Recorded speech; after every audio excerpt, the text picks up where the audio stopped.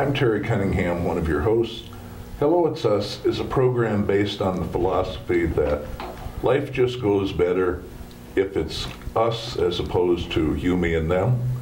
Tonight we're thrilled to have Roger Lusala, Executive Director of MYEP. Hello. Good for you to have you here, Roger. And of course, my co-host Keith Ruff. Thank you, Terry. Well, Roger, as we were talking a little bit before the show, I'm especially looking forward to this because I really don't know a whole lot about what you do other than the 15 or 20 minutes we talked about before. So we'll let you run with it. well, I am, like Terry said, the executive director of MYEP. MYEP stands for Mayor's Youth Empowerment Program, um, but the name doesn't really do it justice anymore. Um, MYEP is a nonprofit organization here in, in, Iowa City, serving children and adults with disabilities and also uh, at-risk children. Uh, the little bit of a background on MYEP for many people that have been around Iowa City for a long time.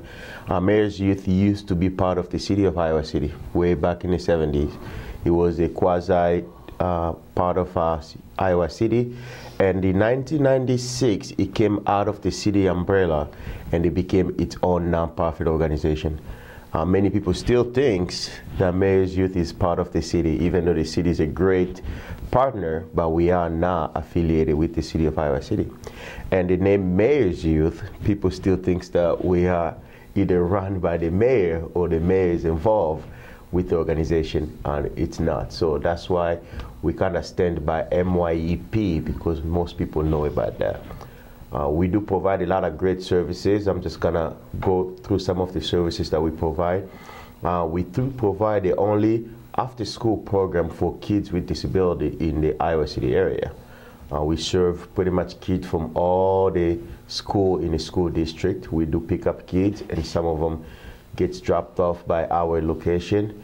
And uh, we provide respite services, group respite, uh, supported living services, which is uh, goal driven and skill building. We also do have an adult day program. Uh, we are currently serving about 60, 63 people in our adult day program.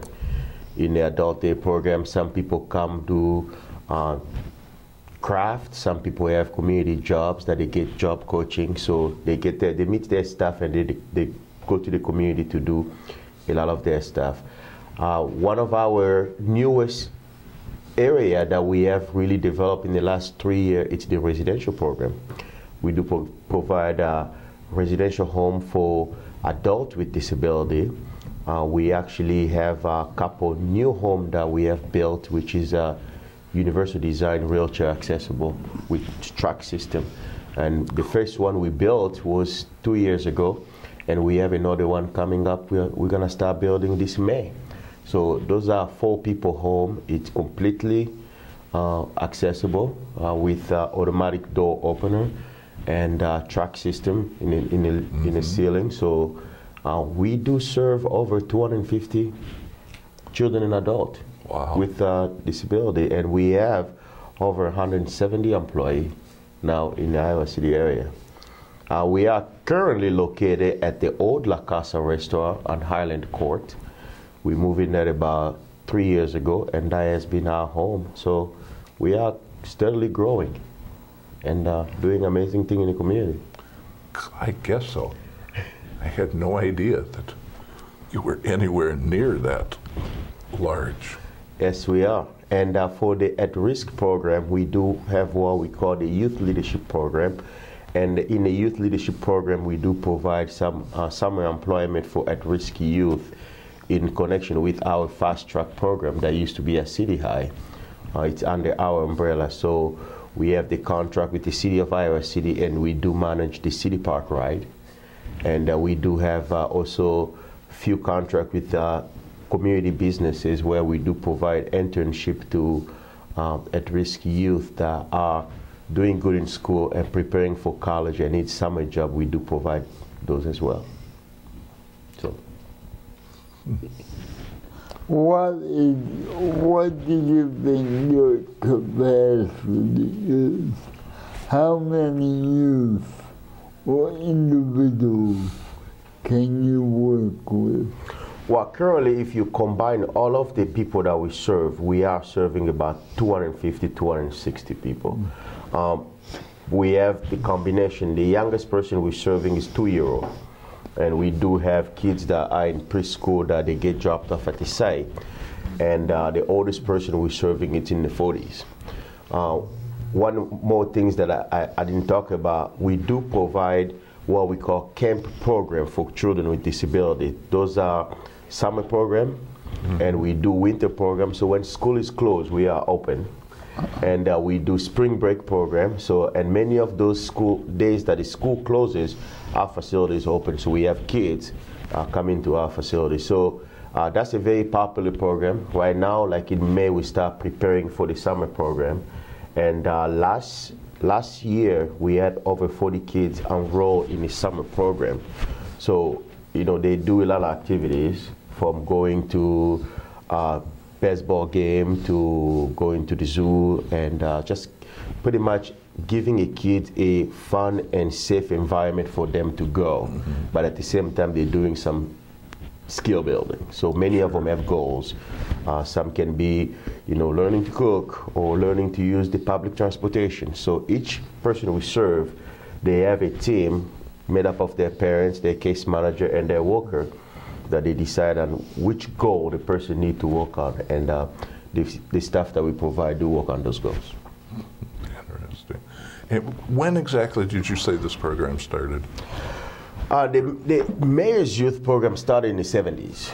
Uh, it started in the 70s. It was uh, out of the governor's initiative to start some youth programming in, in the area.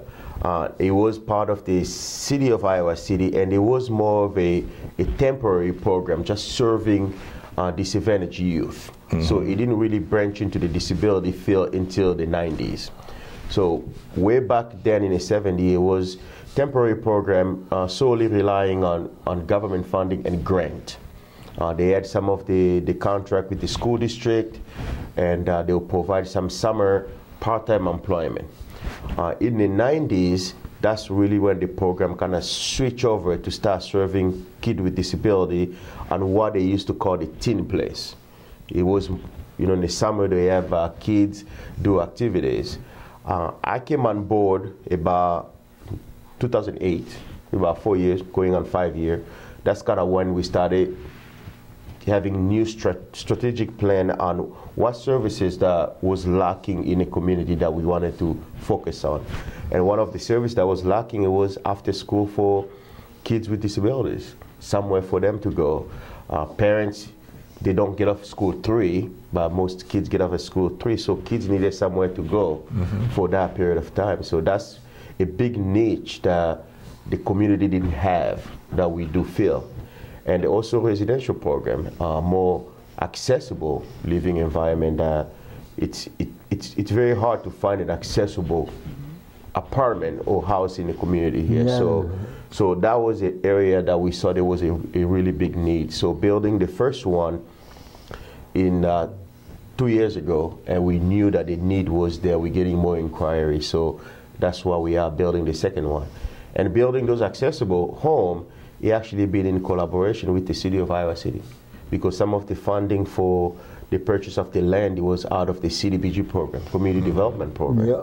So we get that money, we purchase the land, and we work with local banks here to finance the construction of the loan. So this has been tremendous because this is really, truly accessible home. So these are all folks who are who are adults in the in the homes. Yes, this is all adult in the homes.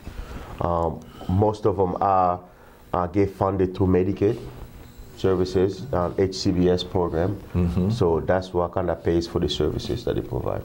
Then what kind of staffing are in the homes? Uh, our staffing is pretty individualized. So uh, we have certain home that the staffing is one-on-one because it's based on the people's needs, and we also have houses that the staffing is two to four. We have two staff present for four people living in a house.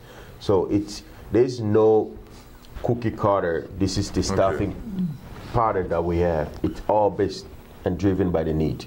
So if if the individual needs help with personal care issues and that, then then that's what's provided. That's what's Okay, provided. very so cool, the cool. services is wrapped around the individual's needs.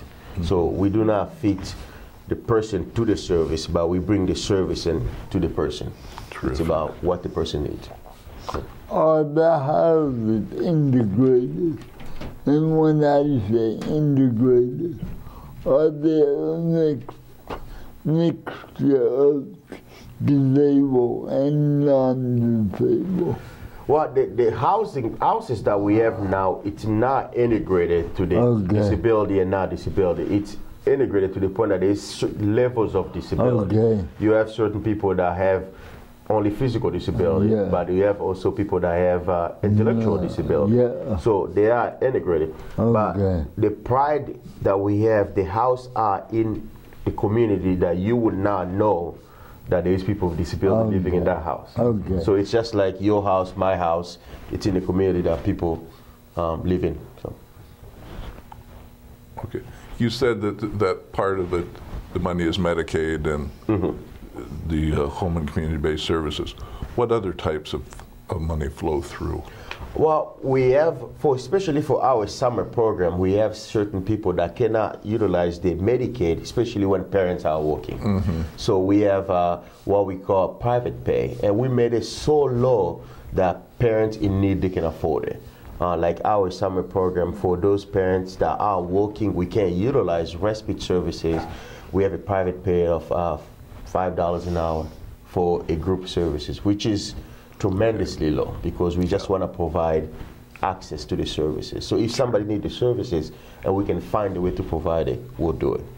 Uh, for people that are living in a home, most of their service is paid through the Medicaid services, county and the state combined.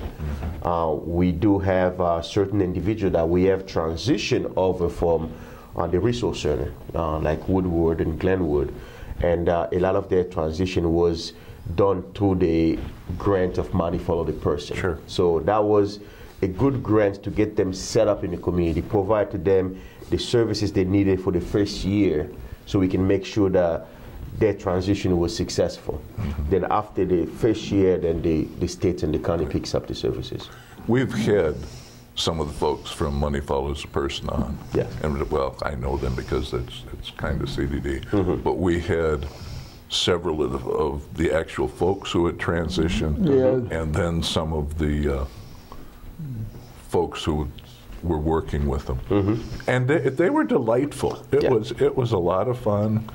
And you know, they we had a little meeting upstairs first to Yeah. kind of talk about how it was going to be. And so we got down here and got everybody settled, and it was like, well, you know, one of the works, well, do you want me to stay in here? Da da da da da.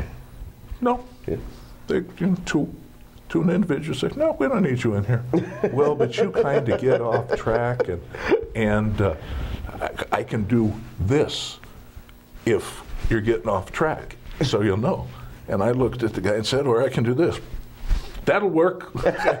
and out they all went. You know, it was, uh, and they, We, we, we have had uh, very successful people transitioning with um, money for the person, and some of those people that you know many times will never be able to live in the community.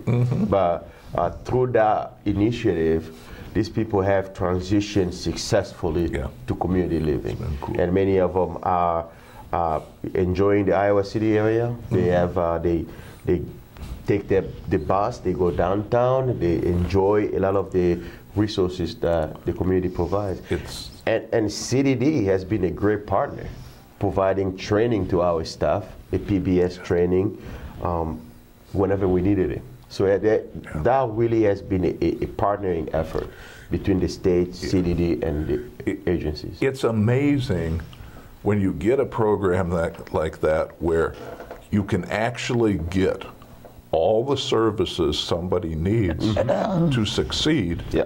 how often they do, Exactly. surprisingly enough. Exactly. We've, we've had some folks from uh, REM's host home program as well. Mm-hmm. And, you know, it's, it's pretty much the same there. And they were, they're excited to be where they're at. They mm-hmm. enjoy it. They're doing better than, than they have in years and sometimes decades. It's just all a, a very cool situation. And they seem to be very pleased that they, for once, have control over their lives. hmm And they do.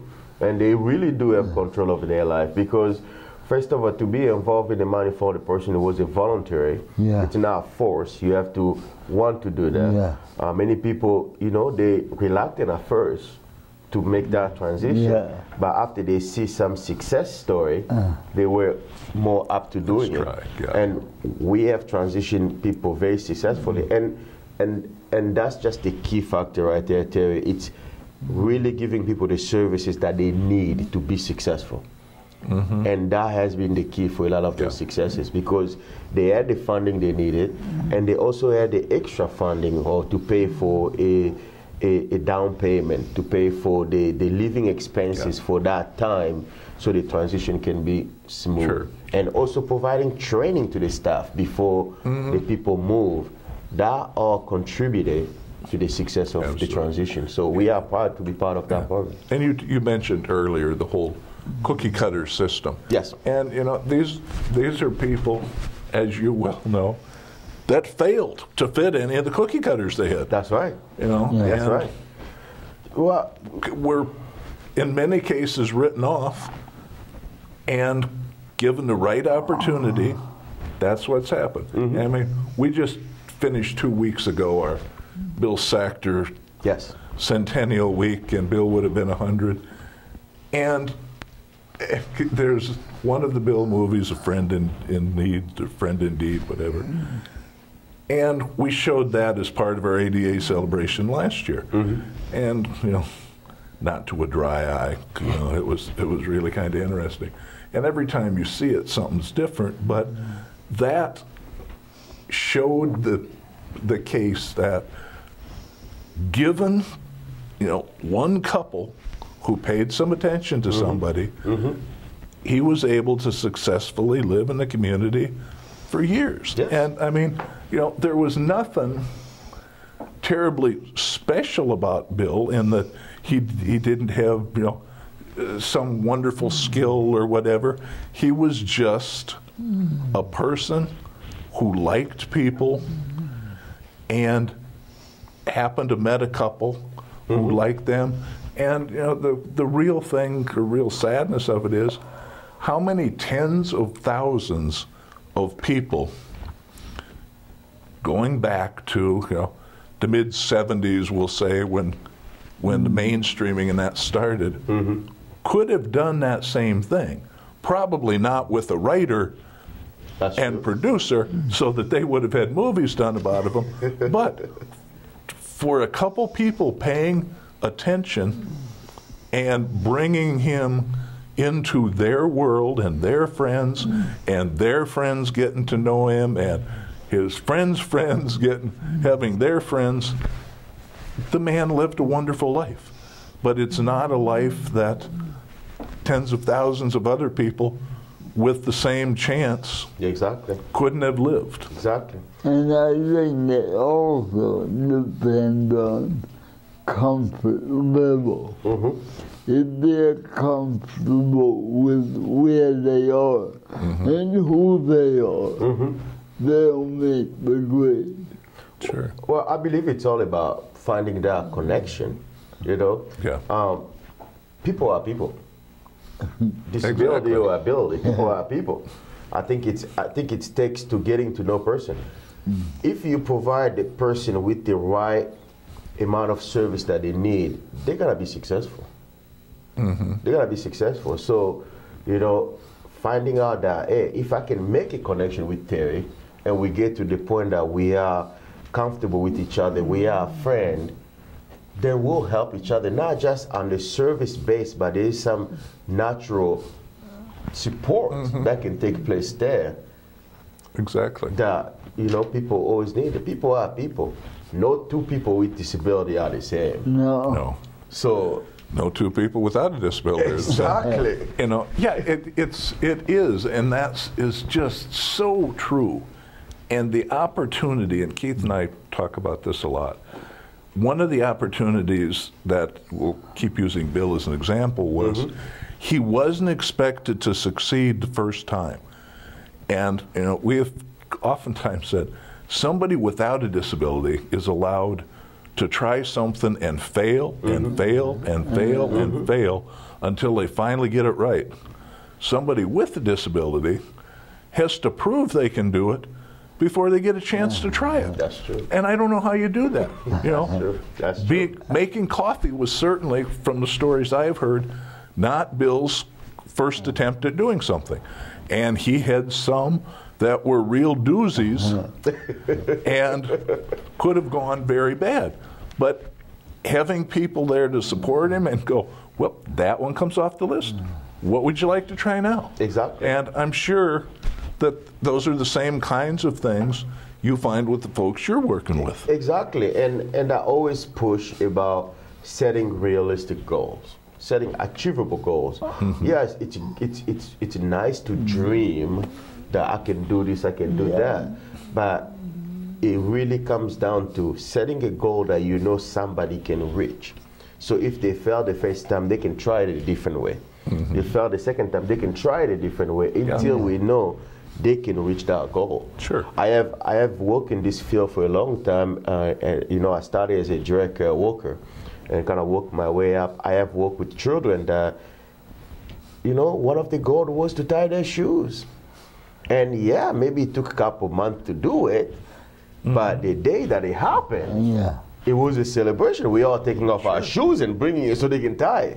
So it's it's Sure. it's setting realistic goal that we're not setting people to fail. And if uh, you know, i- i- somebody comes in and tells you, you know, they want to live in an apartment on them with them, you know, by themselves. Okay, well, clearly that's probably not going to be something that can happen the next week. That's right. So, you know, by sitting down with them and, and coming up with that list for the road they have to travel before they can get there, and being able to break that up into small, achievable mm-hmm. things. And also being able to celebrate the success Yes, of those absolutely. small achievable things. Yeah, abs- and to comfort the failures. Yes. You know, God knows, you know, growing up, I didn't succeed at everything. I didn't either. you know. I didn't either. But you know, you you have the the support of the family. After I had my accident, I broke my neck in a car accident in my senior year of high school.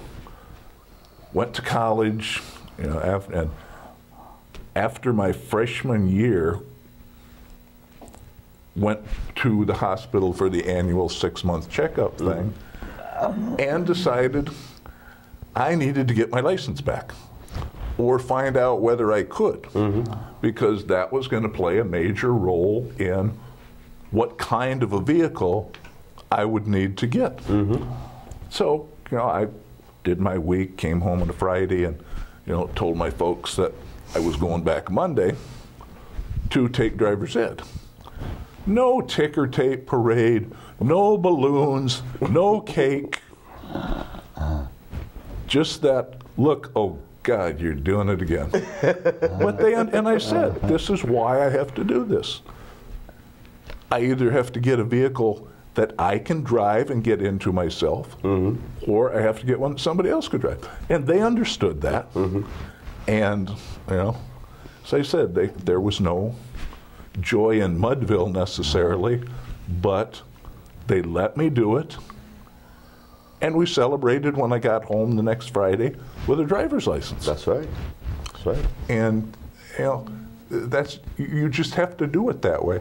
And it should. And the reality of it is, it's no different than you treat No, it's not. non-disabled kids. No, it's not.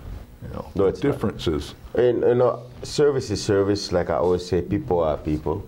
Uh, some people need, we all need help. Some more than others. So uh, I, I- look at it like we all have a level of disability somehow. You know, mine is different than yours. So there's ability that you have that I don't have. So it's when when we're looking at providing services to the client that we serve, we're looking at it. Okay, what is it that they need that they can't do themselves because of their disability, and how can we provide that accommodation so they can live the life that they choose? And as we, step. and as we all grow older, non-disabled and disabled, we're becoming dis- Yes. Yeah. disabled. But not everybody wants to admit that. No, No. You know, uh, and instead, so many folks with aging issues, God, and I'm now one of them. you know, it's, it's, I don't have a disability. I just, you know, can't walk this far anymore, and I can't do this, and I can't do that. It's not a disability. I'm just old. You need these services. Yeah. Those services would be nice. Yeah. I need those services. Why can't we come together, together. Yeah. and fight for these services Together. for all of us? Yes, yes. And it's services are services. I, I believe we should wrap people with the service they need. And that probably will be the mm-hmm. most economic and efficient way to assist people Sure. to really live the life they choose. So And it's it's yeah, it's probably going to be cheaper in the long run. it will be. You know, instead of causing people to fail at this, this, this, this, to finally get to this one, because somebody says you have to go through all of these to get to, to this one. Yep. It's it's the maze that we travel. It's the the the, the, the paperwork, the requirement, and all that stuff that as provider we have to deal with on a daily basis. Sure. So we can just get to that providing services. It will be so much easier to eliminate some of those red tape, so you can just provide the services. Absolutely. But we have to deal with it.